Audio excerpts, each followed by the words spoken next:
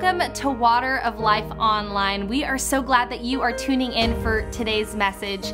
And you know, here at Water of Life, we believe in having passion for God and compassion for people. And so we're so glad that you are with us today.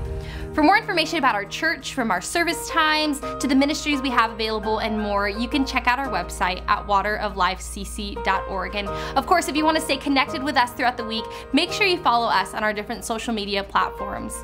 Well, we're so glad that you're here. We hope that God speaks to you, that He encourages you, and we hope that you are blessed by today's message.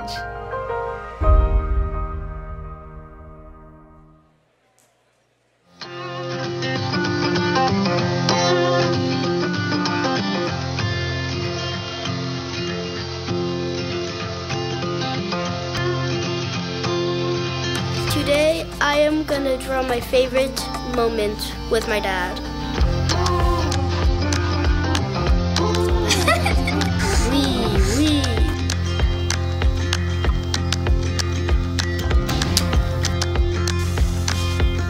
I'm drawing my dad. Oh, this is my dad. This is a picture of my dad running for the ball. I'm drawing the rim of the basketball. Drawing this fish in the line. And then I'm gonna draw a smile. There's a football with the little lines. Don't judge my horrible drawing. I think I'm gonna draw, um, I'm gonna draw a picture of my dad and me sparring. It's like fighting in karate.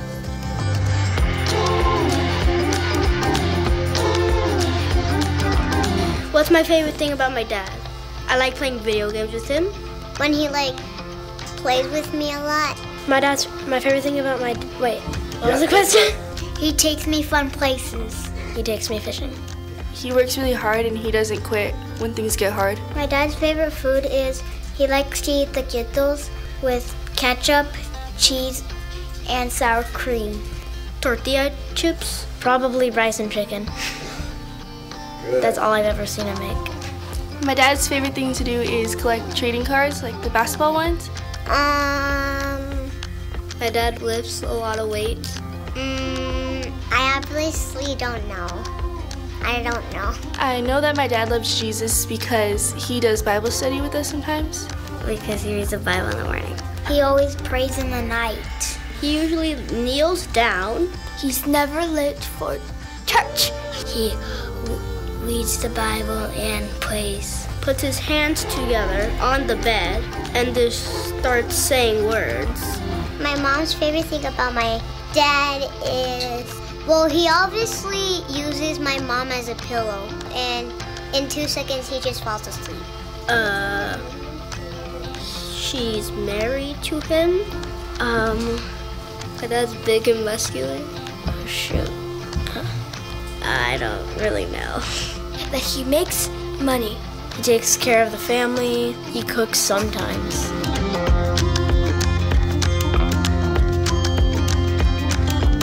This is a picture of me and my dad catching fish. It's a picture of my dad reading a book to me and I'm in the bed. This is a picture of me and my dad going fishing. So this is a picture of me and my dad just playing football at a park. This is a picture of me and my dad, and we're holding hands. Happy Father's Day, Dad.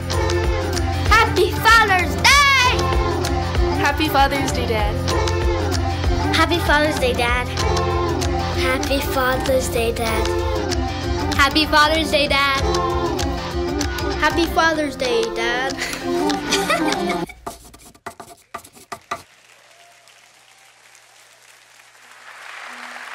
Okay. Well, fathers, if you're here, stand up, would you, so we can, uh, it's your day, man. We want to say, way to go.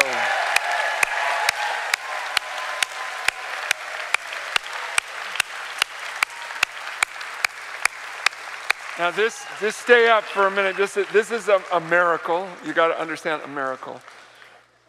Father's Day is the least attended day by men in church all year. This is true. I'm telling you the truth. This is the truth. So I just want to say, I'm glad that you came to church today. So let me pray for you before you sit down. I want to pray for you. Father, thank you for men. That I hope that in, as they listen to these kids talk, they understand how much influence they have, Father. what a difference they can make in a destiny and just putting their heart into your heart and then into their children's lives, Father. So I pray for them. Just thank you for men that have a heart for you and a heart for their family. I pray for them. You'd help them be steadfast, immovable, and to keep abounding in the Lord. In the name of Jesus. Everybody said, Amen, amen, amen. Way to go, guys. Okay, so we are doing Dollar Club this weekend, and we started last weekend. And so, Dollar Club, if you're not familiar with it, is a place where we bless people around the world. And um, this is Dollar Club is going to Cuba. So we have like a two second thank you from Cuba.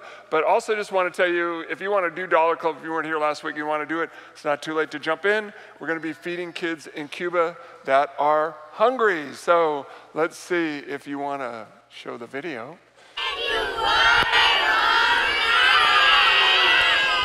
That was it, man. That was fast. that was it. But yay for Cuba. That was, I mean, that's important. And it's like, we can make a difference. Your dollars go a million miles around the world. And uh, I know you think they go a million miles at Starbucks, but really they don't. You, know, you can feed a kid on what you can have for coffee. So it's, uh, you can make a huge difference. So we always try to encourage you to do that. Generosity is your father's heart, right? It is God's heart is to be generous. Father, we want to come to you right now. Say, thank you, God, for your heart for us, that you're generous towards your church, towards your people, towards your bride, towards those people that you love and you've called your own. And so, as we are here on Father's Day, we pray that you would reveal your heart as our Father to us today, and that we would grab a hold of that and allow you to transform us, Lord. Thank you.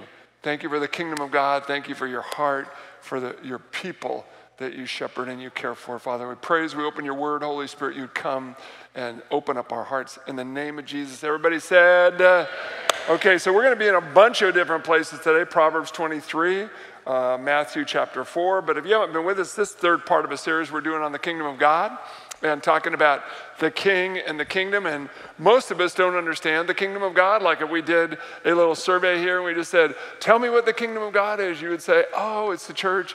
Oh, it's this thing. Oh, it's Jesus. Oh, what, what? But you really don't know what the kingdom of God is. And that's an amazing thing because when Jesus taught, all he taught was what was called the gospel of the kingdom, the good news of the kingdom. He didn't teach what we often teach today. He taught a whole different story. And so when you see the kingdom of God, you start to go, what happened here? How did we get disconnected from the king and the kingdom? So that's why we're doing eight weeks on the kingdom of God. So let's start with Jesus at the beginning of his ministry, talking about the kingdom of God in Matthew chapter 4. If you're at Upland or Townsville or online, we want to welcome you. Happy Father's Day but not in Australia because that was yesterday for them. And uh, so their Father's Day is already over in Australia. But if you want to read along with us online or one of our other campuses over at Upland, let's read loud and together from Matthew chapter 4, verse 23 and 24. It says, Jesus traveled throughout Galilee, teaching in the synagogues and preaching everywhere the good news about the kingdom. And he healed people who had every kind of sickness and disease. Now, this is a staggering picture. I mean, it says that Jesus went about teaching what? The gospel. That's the good news. It says the good news about what? The kingdom. Now, how can you teach the good news about the kingdom if you don't know what the kingdom is? Hello? How many of you know this is an important topic? If this has started Jesus' life and his ministry, we ought to know what that's about. So when you start to talk about the good news about the kingdom, let's talk about two things that he that he covered here. He always tied the kingdom to miraculous things. So he it says he went about healing every kind of disease. And this is amazing. Every kind of sickness and disease. So healing and the gospel, the kingdom always went together. So when we talk about what does the kingdom look like, it was Jesus making a statement, I am more powerful than hell and the world. I am more powerful than anything that could come against you. I am literally your king and your God. That's what the gospel of the kingdom is about. So when you start to look at this, and we talked last week about this, the message of the kingdom really has to do with the decisions we make. You know, how do you become part of the kingdom? You have to choose. You have to choose and choose and choose. Now, how, how many of you know it's hard to be raised in America and want to choose somebody to be a king over you? Most of you all like, no, thank you, I vote. No, no, no. In the kingdom of God, you don't get a vote. No votes in the kingdom of God. There's a king and there's a kingdom, and you get to choose if you want to be part of the kingdom. That's the kingdom of God, and that's the message of the kingdom. And so, when we talked about this last week, we talked about the decision we make and how it shapes our destiny. Each one of them every single day, choosing God, choosing God, choosing God. Because we make statements like this, for instance, we say, You know, I want you to be in my life, Lord. I want you, hold, hold it. What word did you use? Lord? What does Lord mean? Somebody who's over you. And so that's the picture of the kingdom of God. So we talked about that last week, and we talked about how the kingdom of God is now, but it's not yet. It's here, it manifests here today. It touches, it hugs you, it sometimes heals you and does supernatural, miraculous things. And then Jesus was very clear it's not until the end of time. Matthew 25, he says, Enter into the kingdom that I have for you now. And so clearly the kingdom of God is here now, partially, but not yet fully. And so we talked about that last week because the Bible says, and we're going to cover this uh, in Galatians 1, it talks about that you live in a present evil age. Anybody agree with that? And then there's the, the Bible references in Ephesians 1, an age to come, an age to come, where things are going to be what? Better, better, better, better. They're going to, an age to come. And so, what the gospel of kingdom is, when you get touched here on earth, you got some of the age to come, came into the present evil age, touched your life, and changed you, even though you didn't recognize that. So, let's talk about this today. Let's talk about your identity and the kingdom. Most of you think, ah, that, how could that even matter to me? Well, because if you are a child of a king, hello? The Bible says you are. That, that, that, that's why you just sang that song like 55 times. I'm a child of God. You kept singing it over and over. I'm a child. We're trying to convince you. you. You're a child of God. That means you're a child of a what? Of a king. You're a child of a king. You're a child of a king. That makes you royalty. Now, you don't feel like it. I, I already know that. You're like, I don't feel like royalty. This isn't about how you feel. You're like, it needs to be about how I feel. No, no, no. No, it actually doesn't because your feelings deceive you. Have you ever noticed that? Your feelings trigger. You cannot live by faith and by feelings at the same time, friends. You got to figure that out. There's going to be times when you're, the Bible says in Jeremiah 17 9, your heart is more deceitful than all else. Who can know it? Your heart tricks you, your feelings trick you. So, what you have to do is you got to know the Word and you got to be led by the Spirit, and then you will find that your life of faith is stable because you are grounded on the rock, not the quicksand. The quicksand, by the way, is your feelings because they come and they go and they change. Have you ever noticed that? Hello, yes, for all of us. They come and they go and they change. So let's talk about your identity in the kingdom of God. Proverbs 23 7 says this For as a man or a person thinks of themselves, so they are. Hold, hold, hold it. As a person thinks of themselves, so they are. What does that mean? That means if you think, uh, listen, my mama told me I'm a loser, I'm a loser. Some of you, you know, you can laugh at that, but that is exactly what's happened to you. You know, somebody spoke into your life and spoke over you as a child. You're never going to amount to anything. You're never going to be worth anything. And you believed that. And you've actually allowed that to help shape your identity. And friends, whatever you believe about yourself, listen, as a person thinks of themselves, so you become. So if you know that you are a child of God and you live out of that, how many of you know that can change you? Now, now, now, now it can change you for bad or good. Because I know a lot of Christians who don't ever surrender to the king, but act like they're children of him. Like, oh, God will do this for me and God will do that. That's called presumption. And, and see, that's not what the Bible teaches, friends. The Bible teaches submission. Hello? Did you get what I just said? Not presumption.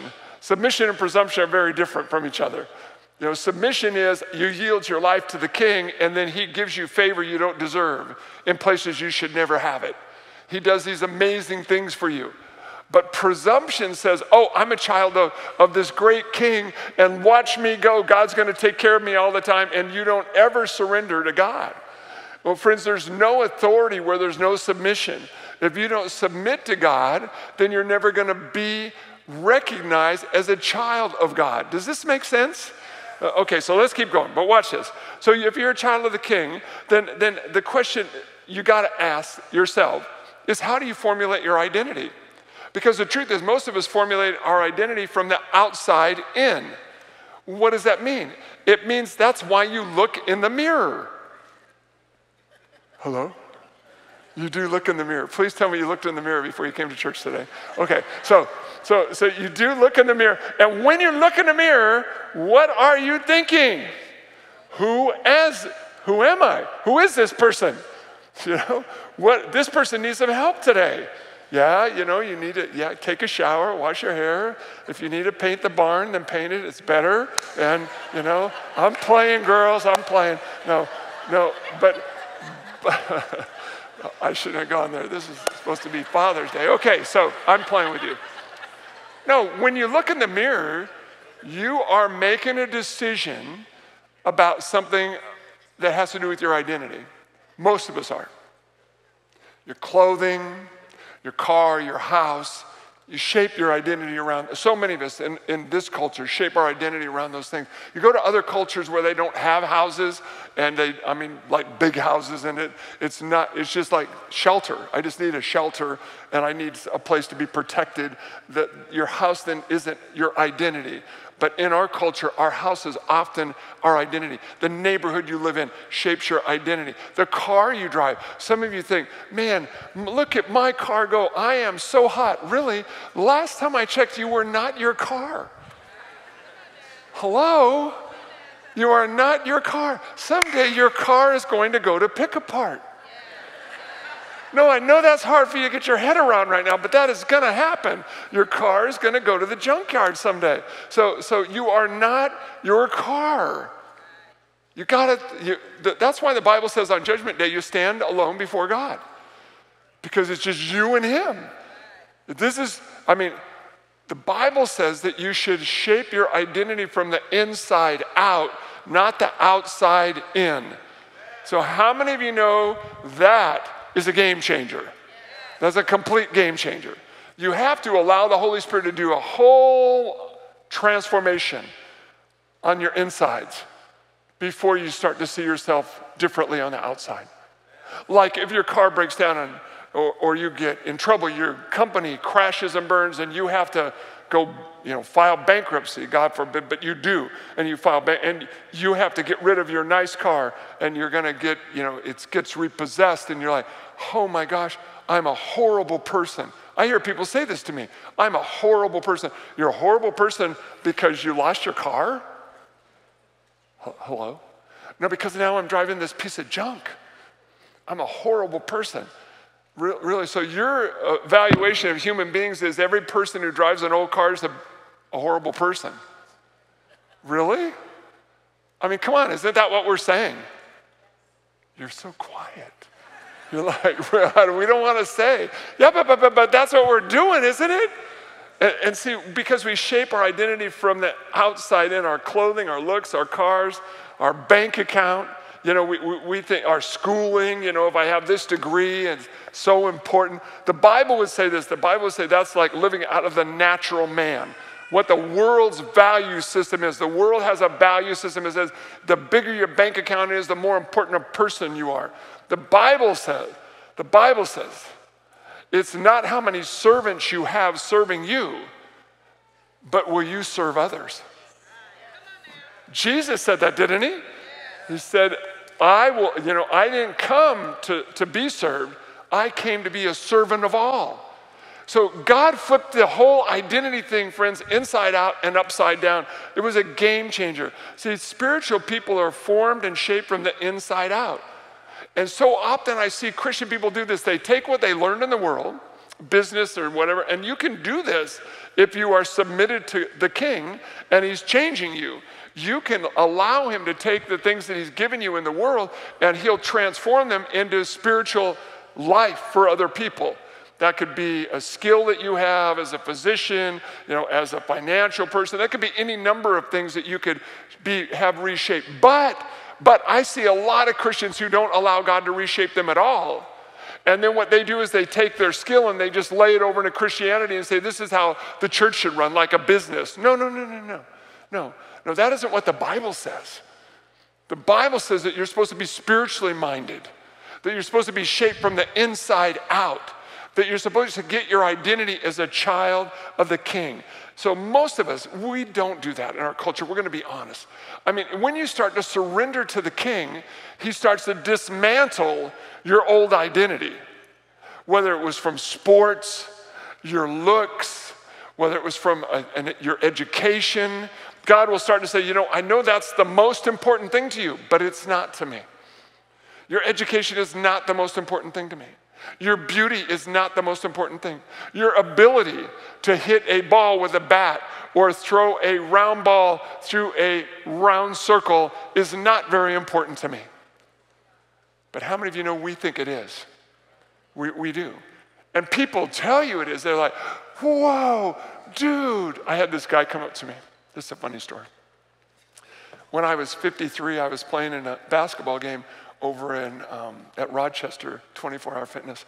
And this guy blocked my shot. He was a, this white kid and he could jump out of the gym. I was like, dude, where did you get that? You know, but he played at Fresno State. He could jump. I mean, that's what I remember about the guy. He just could jump out of the gym. And he pinned me on the board. I was like, it was not good. Because see, now you're aging and your identity. Hello. And, and I was so mad when he did this to me. And, I mean, you know, I'm not a very competitive person, so you have to. um, that's actually a place that God has tried to reshape my identity. But I, I got the ball on the next play going down the floor, and I dunked the ball. And I was 53. And I dunked in this game. And everybody in the gym just stopped and went, Dude, how old are you? I'm 53. And they went, No way, you are 53. You just dunked in again. This little Latin guy came up to me about a year later over at 24 Hour Fitness on Summit. I was in there just working out one day, and he walks up to me and, and he goes, Dude, you are my hero. I go, What are you talking about? I don't know who you are. What are you talking about? And he goes, I was in the gym at 24 Hour Fitness on Rochester when you dunked on a guy a year ago. That was amazing. You're my hero. And I'm like, okay, good, I'm your hero. Now listen, when people do that to you, how many of you know it's easy to shape your identity around sports? No, it is. Because it's like, it, that was a big deal for this guy. That you could like jump up and take a basketball and push it through a hole. No, really? Come on. Isn't that what this, at the end of the day, isn't that what we're saying? You can take a bat and hit a ball, a round thing with a stick, and if you can hit it 450 feet, then you get millions of dollars and you're famous. And we think you're amazing, you can do anything you want, you know, beat up your wife, get drunk, hurt other people, and you're gonna be okay. Come on. Isn't that what we do in our culture? That's what we do. And why do we do that? Because we all wish we were that person because we think if we were that person, we would be a happy person. That's our identity. That's how we shape our identity. And everything in the Bible says that doesn't work. You'll fail in life if you live there. You get old like me. No, you do, and you can't play anymore. And guys that used to beat all the time just are whipping up on you, and you're like, what happened? You got old. You can't do what you used to do. You think in your head, hello? Come on, all you old people. You think in your head you're still in high school. But you're not. Hello? You're not. See, this is so important. Now, watch this. How you see yourself is who you are a son or daughter of the king. You are royalty. Listen to 1 Peter 2 9 and 10. But you are a chosen people. This is God talking about you if you're a Jesus follower. You are a chosen people, a royal priesthood, a holy nation. You are God's special possession. That you may declare the praises of Him who called you out of darkness into His wonderful light. Once you were not a people, but now you are the people of God. Once you had not received mercy, but now you have received mercy. The New Living Translation puts this really in a very, it says this once you had no identity, but now you are God's people in His possession. Once you had no identity. But now, li- listen, walk back through this just for a second with me. You are a chosen people. Stop right there. Has it ever occurred to you, if you're a Jesus follower, that you didn't choose God, but God chose you? That God looked out over all of eternity and history and He said, You, stupid over there. Yeah, you that are in trouble all the time, you that are drunk, you that are like, I, am choosing you and I'm going to change you. You'll never be the same once I choose you. Okay, that's never be the same. You're a chosen people, but then listen to this word a royal priesthood. Anybody here feel like royal priesthood? Because if you raise your hand, we're having an altar call for you right now. None of us feel like royal priesthood. Most of us don't feel like chosen people. A holy nation? Are you kidding? God's special possession. Friends, I can't live according to how I feel. I have to live according to what God says about me.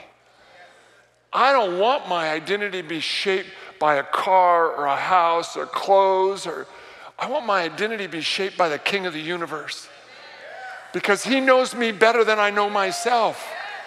He knows who he created me to become, not who I live a lot of times being. He knows what I could be, not what I am. A holy nation, God's special possession. And if you are, you should declare the praise of the one who called you out of darkness into his light. You ought to. Some of you are so quiet, you're like, oh, oh, I'm, uh, you know what, Pastor? I'm a failure there. Yeah, yeah, yeah, yeah. But let me help you with something. God is not finished with you yet. And if you will surrender to him, he will do the work to finish the work to change you forever. But you have to decide that every day. You have to choose every day. God, I want to be your possession today. I surrender to you. You're my king. You alone could make me into a holy nation, a chosen person, royal priesthood. Are you kidding? Once I wasn't a person. And man, I could go back in my life before I knew Jesus, and I wasn't. I was deader than a doornail. I was scrambling around for everything I could do, like many of you, trying to fill the gaps so I felt okay inside. And then, and then, and then, Jesus. Man, once I crashed into him and he said, I love you. I love you. I remember I battled so much with rejection from my mom. And it was always, I wasn't good enough. Once my mom said to me, and, and, and I probably deserved it because I was an idiot. I was a, I mean, I was sniffing glue by the time I was 12. I was sniffing airplane glue out of a sock. I robbed my first house when I was 12 years old. You know, I remember F wording my mom when she took me back to military school when I was eight years old. And I look back and I go, oh my gosh, I was so jacked up. And you know, my mom said to me, I wish you were never born. I never wanted you. Your dad wanted you, but I never wanted you. Said that to me. Man, talk about shaping your identity the words of somebody you wanted their approval so bad. And it was, I wish you were never born. And I used to go to God with that all the time and go, What? Lord, this is, why did you give me a mom like that? Why did you? And you know, one day the Holy Spirit spoke to me and He said, You were not your mom's idea ever. You were always my idea. Is that good enough for you? Listen, you were not your parents' idea, you were God's idea. You are a holy nation, a royal priesthood. You, friends, are supernatural people, even when you don't feel like it. Listen, you are God's special possession. You are royalty not because of who you are, but because of who your father is. Your father is a king, the king of the universe. It's such an amazing picture. You know, we have five minutes left and I have six pages of notes done. Do you know what happened to this though? Let me tell you the story really quick what happened to this. Because his image and his authority, they always go together. And if I don't live out of his image, I don't live out of his authority in my life. And that happened in Genesis chapter 1, verse 26. It says this that God said, Let us make man, women, people in our image according to our likeness. So he created us in his image, and it says, Then let them have dominion over everything. Dominion is, uh, that's a kingdom word, it means to have rulership over. And he, and he, goes through all of the things that that would look like. Then it says in verse 28 God blessed them and said to them, Be fruitful and multiply, fill the earth and subdue it, have dominion over them. What, what did that mean? It didn't mean destroy the things of God. Literally, it means take care of the things of God. Because God has entrusted you with his authority, listen, and his image is shaped in you. Are, you are the apple of God's eye, even if you don't feel like it, if you know Jesus. You are the apple of God's eye. Literally, he says this I want you to have authority. I want you to have possibility. But that can't happen unless you submit to my authority. I cannot impart my authority to you when you don't submit to me. Do, do you understand what I'm saying? So a lot of us, we live like this all the time. I'm the king of my life. You know, I'll do it my way. I'm in a driver's seat. I'm large and in charge. Everybody knows who I am. And I love Jesus.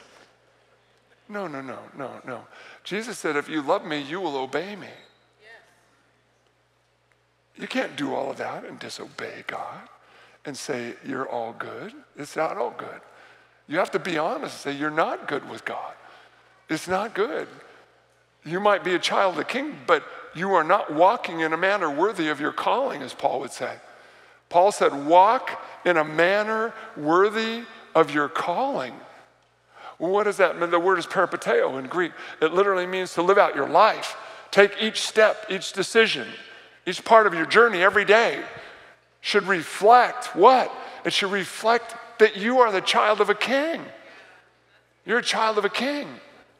And so, what, what, happened in this whole thing? God gave us dominion, He put His image in us, and then something tremendously difficult, life changing happened. What, what happened? Genesis 3:16 tells us that people walked away from God. We rebelled, and we've been rebelling ever since. When you rebel, you got to figure this out. You lose authority, and you don't look like your father wants you to look. You lose his image.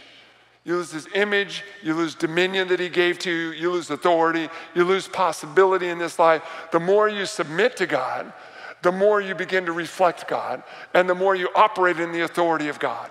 That's just how this goes. Now, what does that mean? Well, at the beginning of time, God right away said, Listen, I'm going to repair this. I'm going to restore this. I'm going to put this back together. That's why Jesus died on the cross. Is that right? But, but, but, but, hold it. The gospel of the kingdom, there's good news. Jesus died for you. Jesus died for you so you can surrender to your king. You can be remade in his image. You can operate in his authority. That's the picture in the Bible. Not that you can go off wild and do whatever you want. The, the Bible says literally you have freedom. God has set you free, but use your freedom to bring life to other people. It's not about you, it's about you and Him touching other people.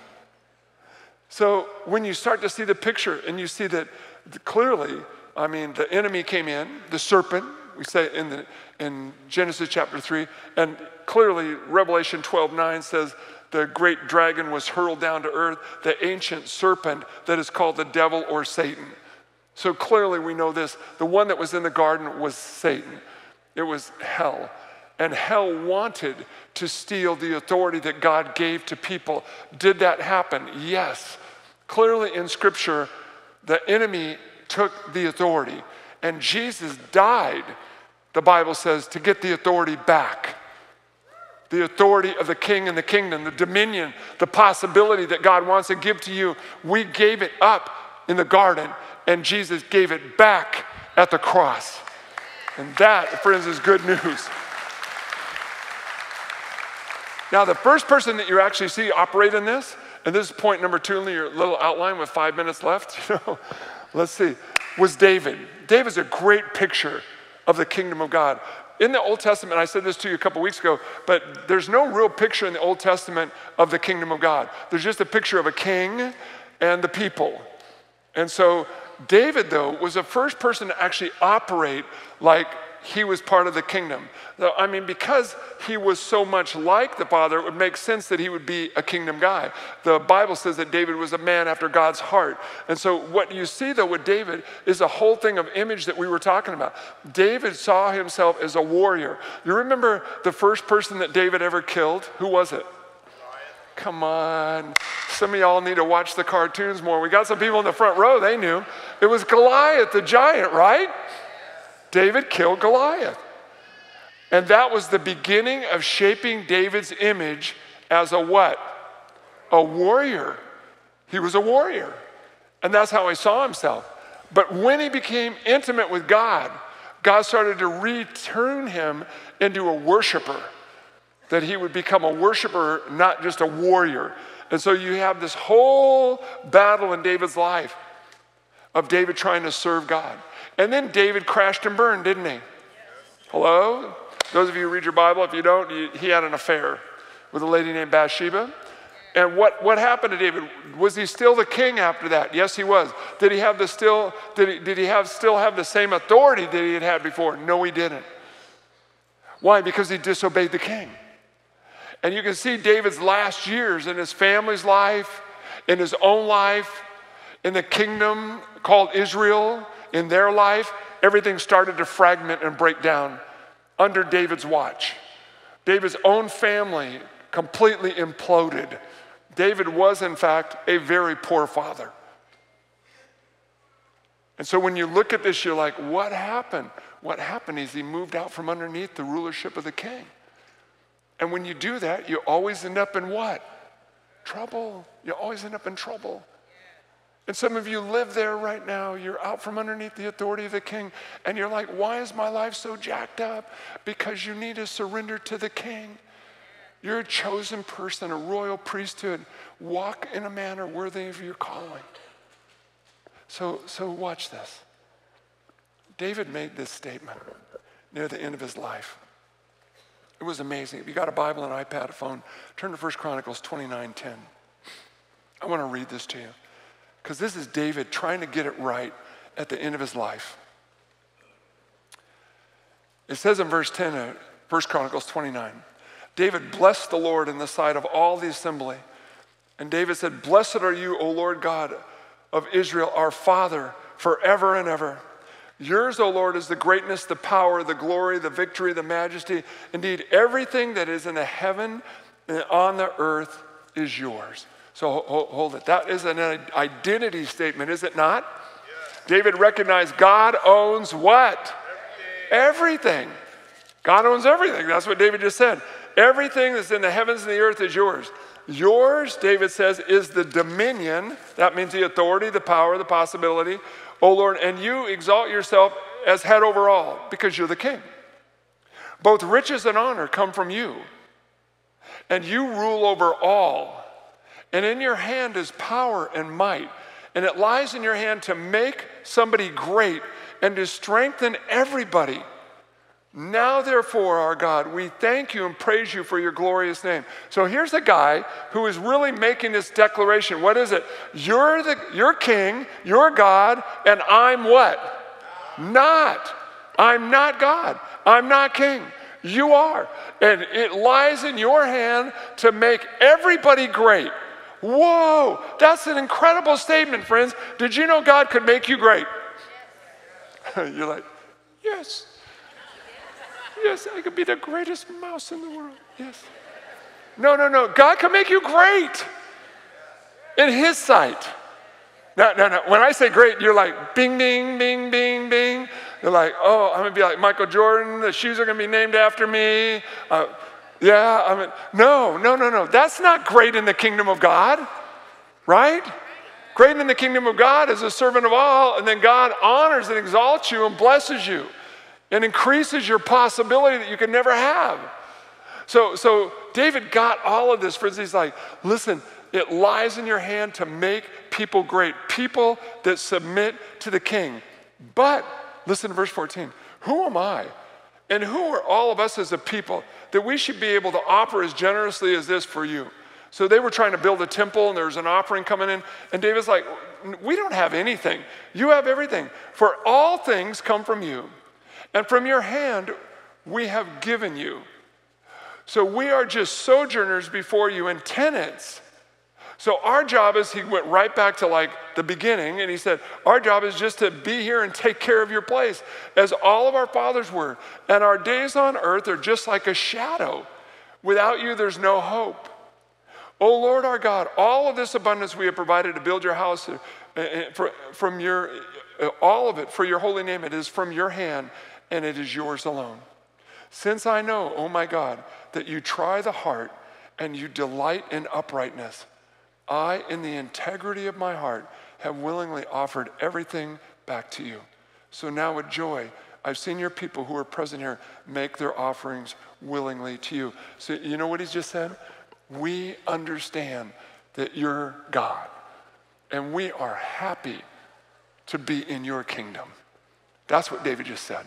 We are happy to be part of who you are. So, so, so, so what does it mean? It means, listen, how does God give you authority? You know how? He gives you, he gives you favor you don't deserve in places you should never have it. He opens doors for you can never open for yourself. He shows himself at the wildest times and places that you would never expect him to show up. So David literally said this it's not riches and honor, he said, that I need to have my identity. He said, My identity comes completely from you, not my stuff. My identity is from you. So if you're going to learn to be godly, friends, you're going to submit to the king, you've got to figure this out. You've got to learn to forgive because God is always what? Forgiving. God is forgiving. And then there's another word, they both go together give and forgive. God is generous. He cares for you. He gives, He gave His only Son for your life. So here's the question Are you generous? Well, Pastor, really? No, no, no, no, no. No, no. You can need to ask yourself hard questions. Are you generous? Do you offer willingly to God? Are you like, God, whatever I have is yours? I love you, Father. Do with me whatever you want. Take my time, my talent, my resources, whatever you want. I'm in 100%. I, I believe in you and I trust you. I trust you that you'll do the right thing with me. So, watch this. How do you get there? I know some of you are sitting there go, that is impossible. Well, it's impossible if your whole identity is made up on things on the earth, all your stuff and all of your all, all, all the things around you. The king and the kingdom, we said this last week, move quietly and slowly. And so you have to figure this out with God. We covered two stories last week out of Matthew 13.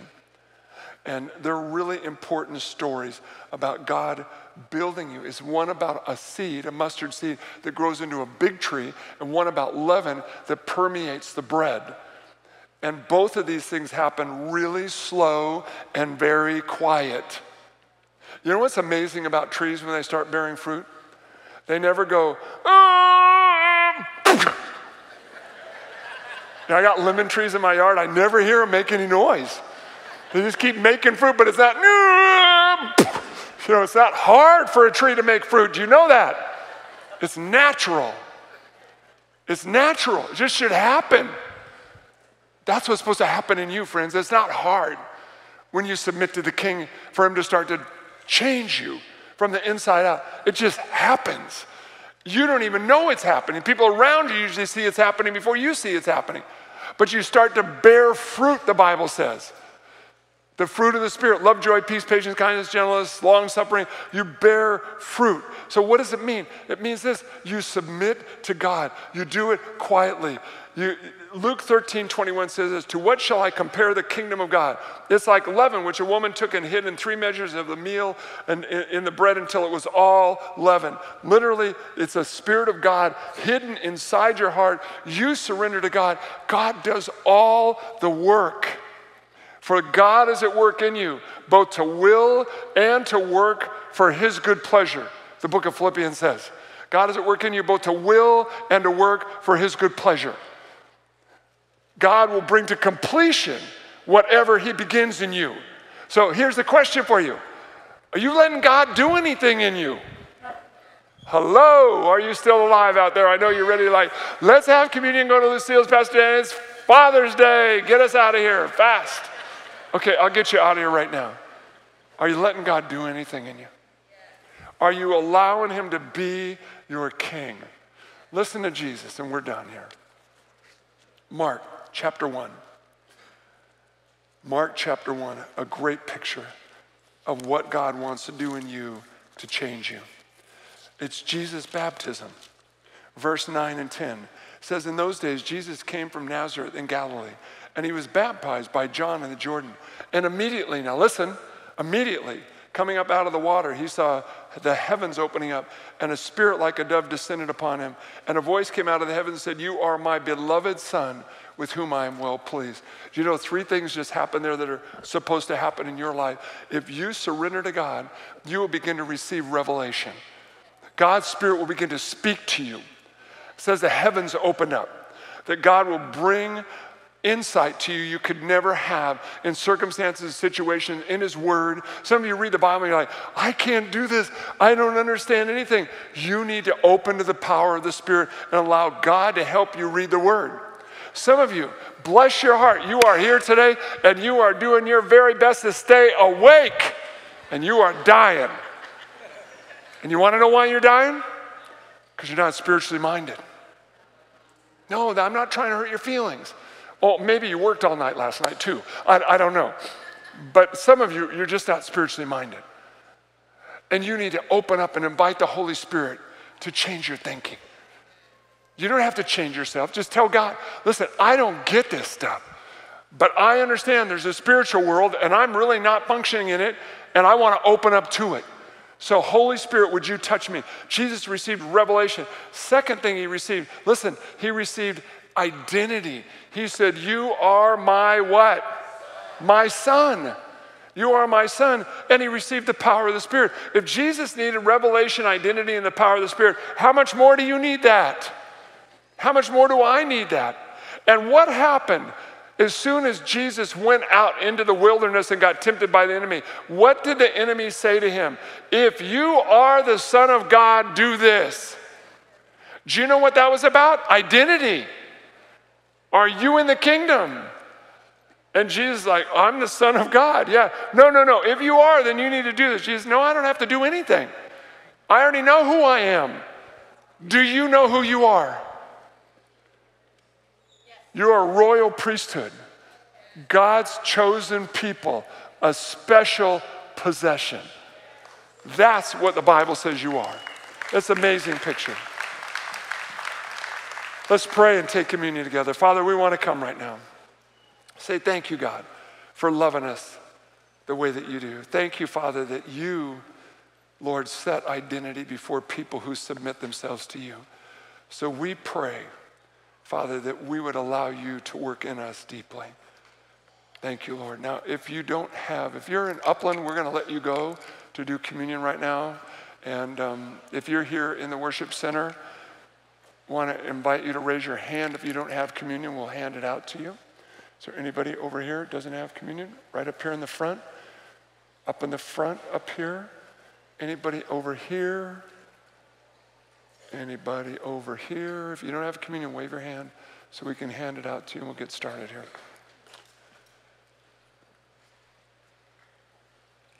You know, the Bible tells us in Hebrews chapter 6 that you have a taste of the age to come. Those who have experienced the good things of heaven and shared in the power of the Holy Spirit have tasted the goodness of the Word of God and the power of the age to come. The power of the age to come. The Holy Spirit working in you, friends, is a picture of the kingdom of God and the power of the age to come. Let's take the bread together. Father, we want to come to you right now and say, Thank you, God, that you want to transform us. And we know, Father, that that begins in our head, how we think. You said in Romans 12 you want to transform our thoughts by renewing our mind, our identity, that we would understand we are royal people, a chosen people, royal priesthood. Father, thank you for the cross. You restored the kingdom through the cross. So I pray for us that you would restore our identity. We would look and live like Jesus. Thank you, Lord. Take and eat in Jesus' name.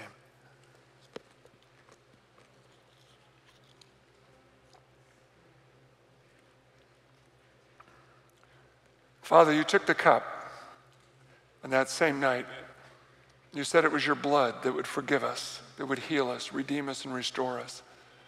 And I pray for people that are here right now that are not spiritually minded, that are struggling, Father, just with a whole journey, that they would lay their heart down before you. You know them better than they know themselves.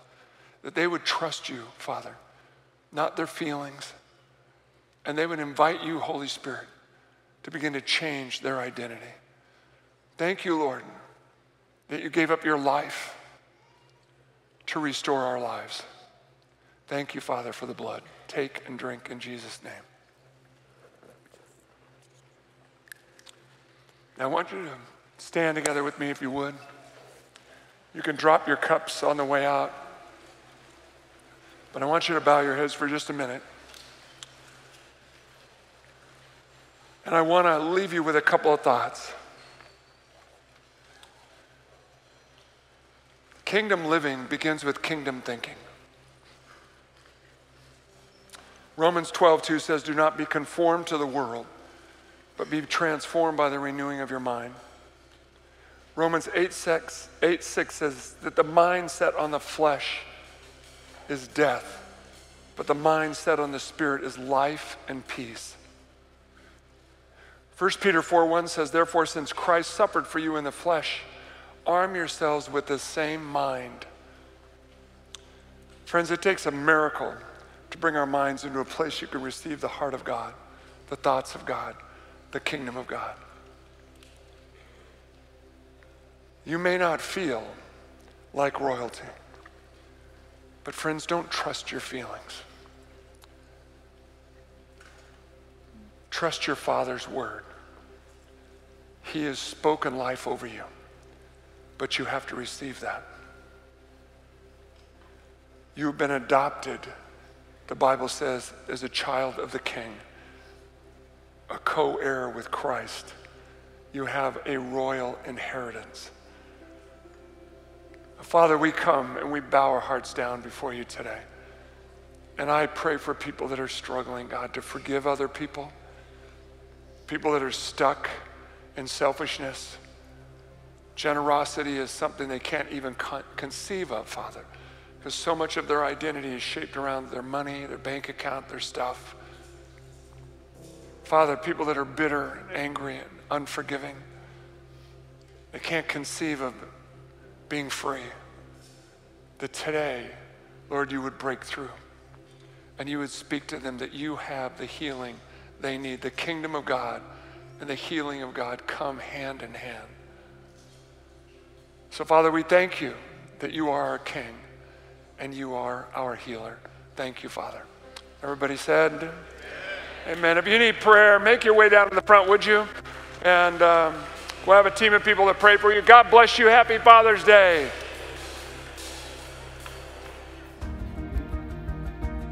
Well, wasn't that a great message? You know, I say this all the time, but our hope here is that you wouldn't just receive information, but that you would experience transformation. And so we hope that you were transformed and challenged and encouraged by today's message. Like we mentioned, if you want to find out more ways to get connected to Water of Life, make sure you check out our website, wateroflifecc.org.